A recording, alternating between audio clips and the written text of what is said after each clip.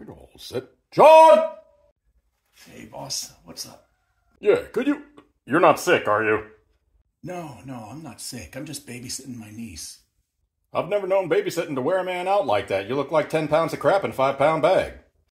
No, no, wrong kind of babysitting. My niece is 25. She was about to get married, but then she found out that her husband to be was banging every single one of her bridesmaids. So, uh, the bachelorette party was kind of just a drinking party at my place. Fun times. Did you get any rest at all this weekend? A little bit. I slept like a baby last night. How can you look like that after sleeping like a baby? Well, that's because just like a baby, I shit myself at 2 in the morning and then cried until sunrise. It was a good weekend.